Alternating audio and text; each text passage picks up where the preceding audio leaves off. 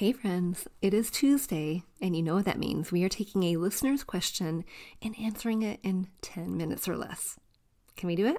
We sure can. Enjoy today's show. It's Quick Tip Tuesday. You have questions, I have answers, and I am so glad to be answering them for you today. If you have a question that you want answered on the show, pop into my DMs on Instagram at Fig and Farm. Send me an email at figandfarm at home at gmail.com or join the Facebook group and ask there bit.ly forward slash design 101 group. Let's hop to it. Let's answer your question. And if you find value in this, I'm sure someone else will too. So make sure you share with a friend. Today's question comes from Molly, and she is wondering how do I make my home the place that I love? And I love this question so much, Molly, because just in asking it, you are recognizing that your home is really important. It's a powerful place for you and your family. But it also makes me a little sad because in asking it, I am guessing that you don't quite love it. So we're going to walk through ways that you can change your mindset about home and tactical steps that you can do to begin loving it. So, what I want you to think about this first, Molly, is this. If you share your space, even if it's just you, but if you share your space with your with your family, your husband and your kiddos, your home is a living legacy. It is like you, as the homeowner, are the author to the story your, that your home tells. You are the artist to the canvas that your home is. And that might sound really cliche, but I want you to really embrace that role. If your home, if your home reflects your story, thinking of yourself as the author, thinking of yourself as the illustrator of what it is you want your home to project to others, including yourself and your family, that is really, really powerful. It's when we get in this place of my home is happening to me where we are stuck and there's really not a whole lot we can do about it. So, first off, embracing this idea that you're the author, you're the storyteller, you're the illustrator, you're the one who's making beauty happen if you choose to. Because the hard truth right now, Molly, is that your home is already saying something. It is. The ultimate compliment that you can receive when people come in to your space, they think, oh my gosh, Molly, this is so you. Whatever that you looks like. Maybe it's super eclectic and really fun. Maybe it's boho and flea market chic. Maybe it is super luxurious and you embrace a quiet luxury feel. Whatever it is, it is no doubt, there's no doubt from the people who know you best and love you best when they walk in the door and think, oh my gosh, this is so incredibly you. That is the goal. So, Molly, now we're going into the tangibles. What does that look like? And how do we get that? And Molly, get out a piece of paper, okay? Because you're going to need to do a little journaling. But I want you to think about how your home feels currently. Does your home feel like you? Does it look like you? Does it represent you in the way that you want it to? Are you super colorful and vibrant and really spunky and fun and you have no color anywhere? That could be problematic, right? But if we just focus right now on the feeling word, how do you want your home to feel? And does it currently feel that way? That is going to be powerful information. So, right now, write down how your home feels and just let it come out of you. Just let it flow. Just write down anything that you can possibly think of it feels junky. It feels cluttered. It feels too claustrophobic. It feels not welcoming. It feels ugly. I don't know, Molly. I sure hope those aren't your words, but maybe they are. And then if you share your space with your family, I want you to ask them. And I want you to to go into that conversation with eyes wide open and a heart that is still ready to receive, even the words that they say that might not feel very good. If they say, Mom, our home just doesn't feel like I, I don't feel like I can invite my people over. Well, why? Ask them more questions, but don't take offense because we are now making change. We're going to make the next step towards change. Ask your husband too, or the people you share your home with, ask them, what does our home feel like? Do you like that?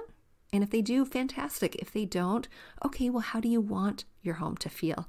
And Molly, now you're doing the same thing. How do you want your home to feel? Do you want your home to feel like that one movie you watched that one time? Like any of the Nancy Meyer movies, you know, with Diane Keaton as a starring actress?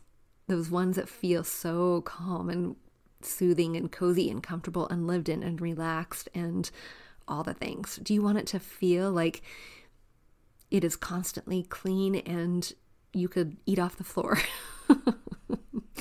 Do you want it to feel like that one picture you saw on Pinterest that one time? Because every time you look at that one picture, you feel like you could step out of your space right now and into that computer screen. And if you have an inspiration photo, kind of like that, that movie I just mentioned or that picture I just mentioned, if you have that, I want you to really dissect it. Well, what is it about those spaces that make it feel that way? Because you are feeling something. It's not just your your eyes taking in a vision. You are feeling something when you're looking at those. So what is it? And sometimes those those things are tangible. Well, gosh, I love the way that it feels like you could just run and jump on that on that sofa. It feels squishy and comfortable. Okay, great. Now we're getting somewhere. I love the way that it feels so bright and open and airy.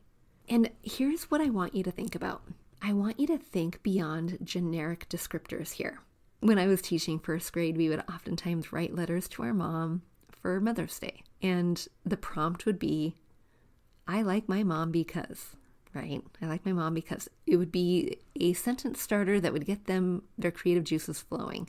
And oftentimes they would end like this I like my mom because she is nice. I like my mom because she is kind, which is true, right? First graders love their moms. and mom might be kind, might be nice.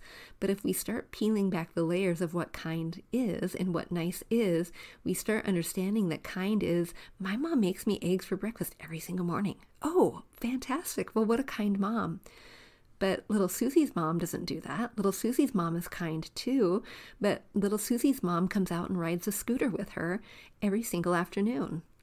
Right? But you know what? Josh's mom doesn't do either of those things. Josh's mom is kind too, and Josh's mom does something entirely different. Josh's mom reads a book and snuggles in bed with him. Do you see how, as we kind of pull back layer after layer after layer, we take those generic descriptors and we turn them into something a little bit more tangible, a little bit more relatable, a little bit more purposeful? And that's what I want you to do with your feeling word. If you say, I want my home to feel cozy, okay, fantastic. I do too. But what does cozy look like? Because I bet, just like in the way our moms are kind, I bet cozy looks so much more different to you than it does to me. So, what is it? Asking yourself that next question why, what, how is going to be helpful and informative as you start creating those layers of how you create a home that you love. Well, if you want your home to feel cozy, what are the elements that are going to make it cozy for you? Those tangible things that you can bring into or take out of your home to make it that feeling word. And then, Molly, quite honestly, sometimes we need to have a little help with the practical application. Sometimes we need a little help with the guidelines and the I don't want to say rules. Rules are too rules are too stringent. And even though I am a proverbial rule follower by nature, just ask anyone. I follow rules, but really in home decorating, I don't like them. I don't like them at all.